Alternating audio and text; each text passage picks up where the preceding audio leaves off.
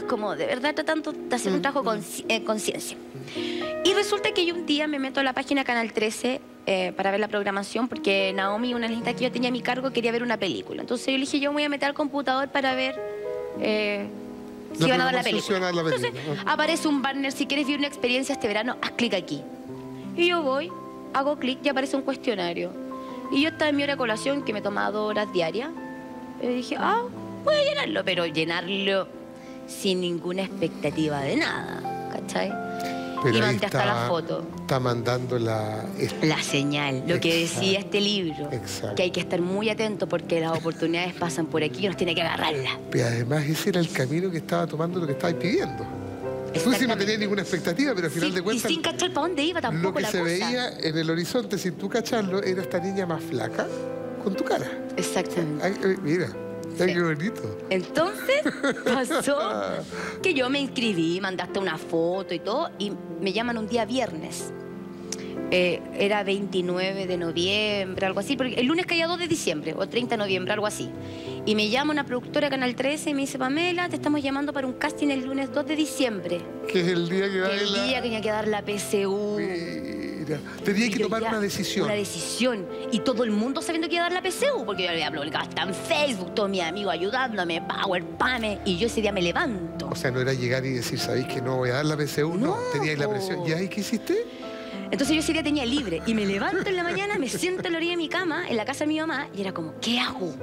¿Qué hago? PCU, casting, PCU, casting, PCU, casting. La PCU la di el próximo año. Y me fui para el casting, carajo.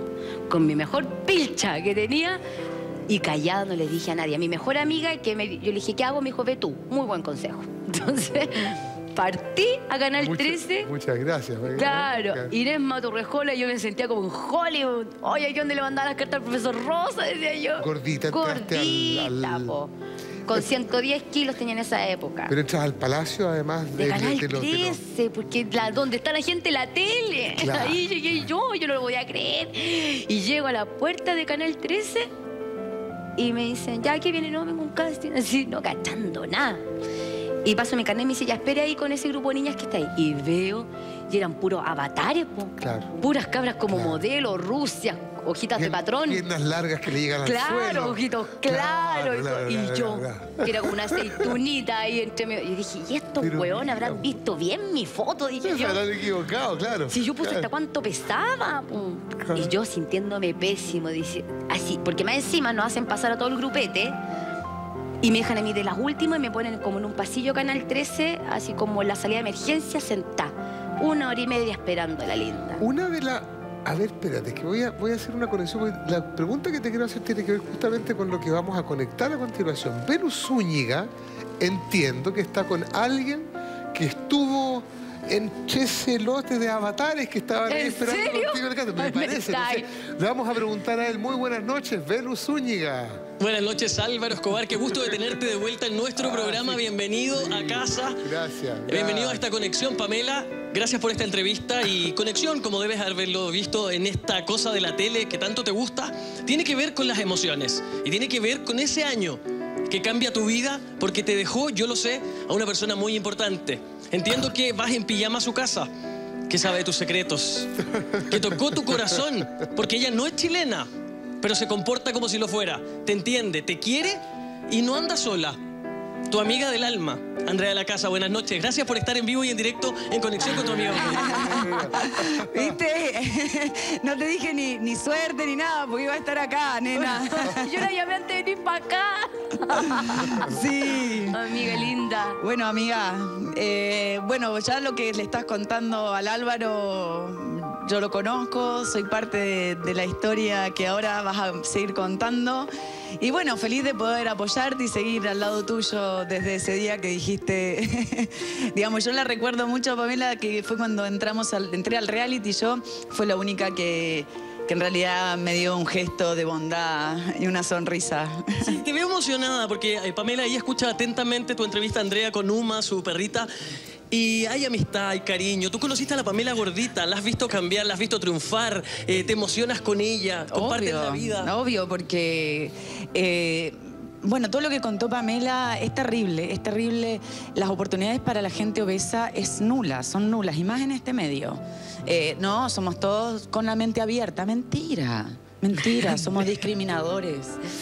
Y, y, pucha, todo lo que ella vivió, yo cuando la conocí le dije, yo te voy a ayudar en todo lo que pueda y más, siempre. Porque vi el talento que tenía y era maravilloso, es una persona maravillosa y que a pesar de que su vida cambió muchísimo, gracias a Dios, y se le fueron dando las cosas, no ha cambiado, eh, sigue siendo la misma Pamela de siempre, siempre, y eso es genial. Escuchamos la emoción de Pamela. Pamela, me imagino que tienes algo que decirle a Andrea, tu amiga del alma que yo la quiero mucho, que siempre se dice que en el medio de la televisión no hay amistades, que la gente es muy fría, pero yo he encontrado grandes amigos y una de esas eres tú, Andrea. Tú sabes lo que te quiero, estamos viviendo en el mismo edificio. ¿Eso es eh, casualidad?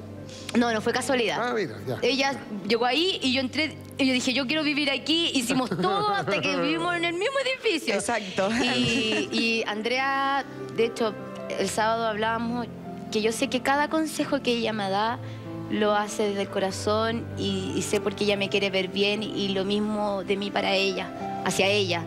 Eh, es una gran consejera. Hoy día que yo estoy haciendo stand-up en, en, bares, se debe también a la Andrea que ella me mandó a trabajar por comida y alcohol. Entonces, tenés que hacerlo, me dijo, porque ella no es suavecita, no señor. Ella no es amiguita linda. Mira, boluda, vos tenés que hacer lo que tenés que hacer. Y partiste, carajo, así es la Andrea. Pero también así yo la quiero y, y nada, pues nuestra amistad va a seguir creciendo, y es parte de mi familia y la UMA también. La UMA Sturban. Así que nada, pues gracias amiga por estar esta noche acá.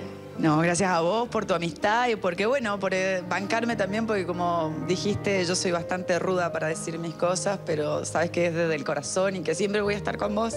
es lo sos lo mejor que me quedó del reality. Tú también. Tú también, amiga, te quiero mucho. Yo también te quiero mucho, amiga.